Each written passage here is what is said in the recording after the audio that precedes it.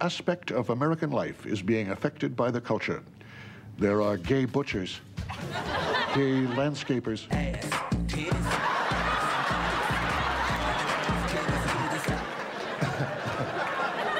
Just for fun, can we see that guy again? That shit was very funny to me.